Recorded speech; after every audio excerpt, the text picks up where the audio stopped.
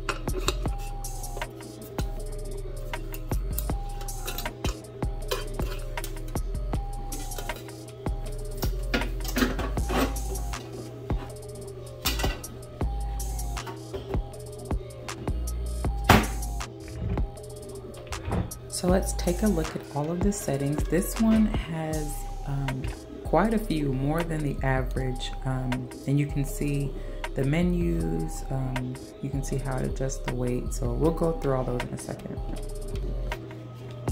But first we wanna give everything a good uh, rinse. All right, so now that everything is washed and dried, let's make our first loaf.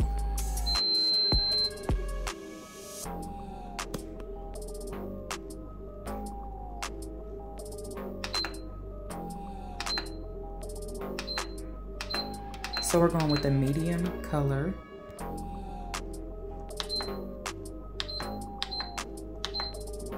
This is to adjust the weight of the loaf. So you can see one pound, one and a half, and two pounds. And now this button corresponds with all of the options that you see listed through 19.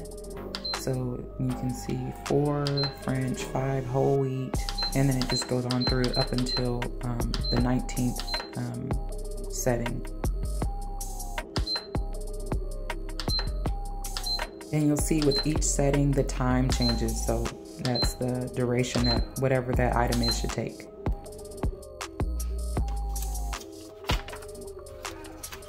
So here's the manual and everything that should be in your box. Um, and then it gives you, you know, different instructions um, so you can flip through that. And here they're specifically giving you visuals on the order of ingredients. So they call out what you should be putting in first, second, and third. And in this manual, they've also included the recipes here, and they do ask that you stick with their recipes initially until you get very comfortable with the machine.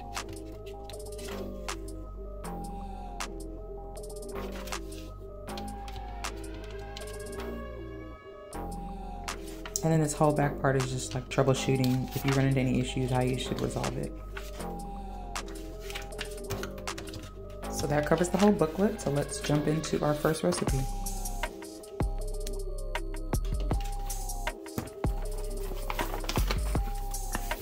So I'll be making number two, the quick bread, and I'll do one and a half pounds. As you can see, um, all the weights or the measurements that go with those ingredients.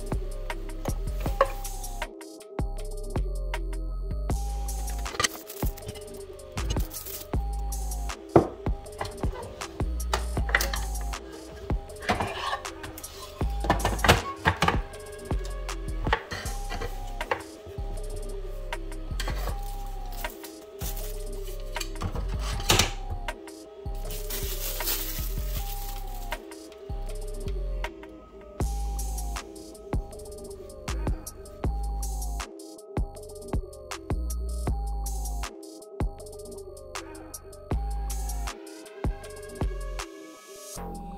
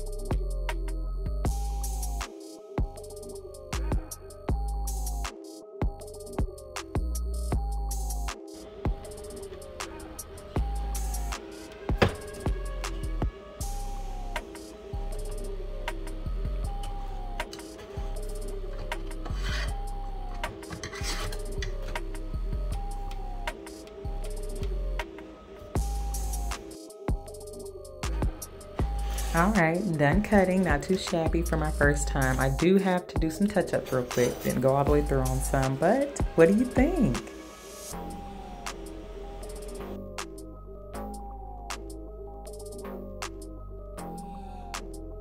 All right, let's get a close look at this texture and um, see what we think.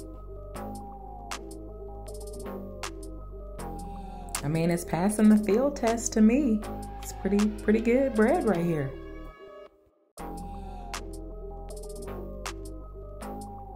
I'm gonna just make a small little cut.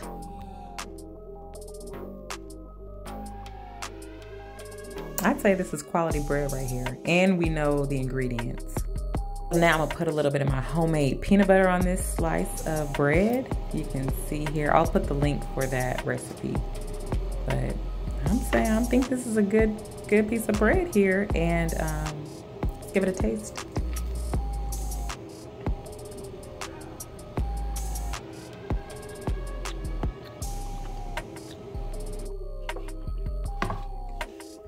All right, so we're gonna store the bread in an airtight container. You can store it um, out of the fridge or inside the fridge. So I usually do mine outside of the fridge at first, and then after a few days, I put it inside the fridge. And you can also freeze the slices as well.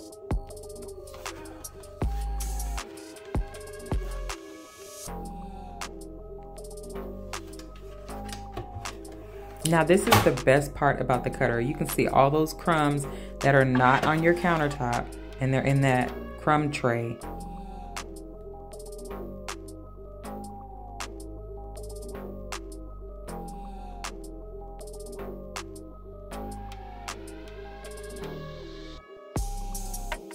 And then another feature is the magnets that hold the knife. So it keeps everything together and then it also has that bag like you saw, but this is just so convenient.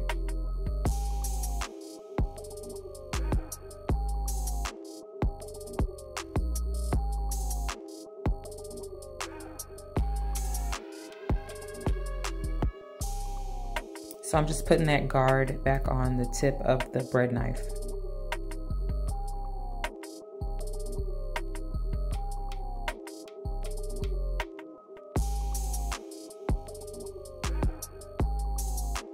Here are the instructions, um, which I did glance at before I started cutting. Okay, so what do you think about the bread? Let me know down in the comments. I thought the bread maker was pretty good. And then I also did like this bread kit, um, cutting kit. So I thought this was really convenient and helped me have uniform slices. I used to freehand it, um, but this is definitely an upgrade. So I hope you enjoyed this video. Um, let me know what you thought down in the comments. Let me know if you'll try any of these products. Um, but if you haven't already, go ahead and hit that subscribe button. Also click the bell notification and I'll see you in the next video. Bye.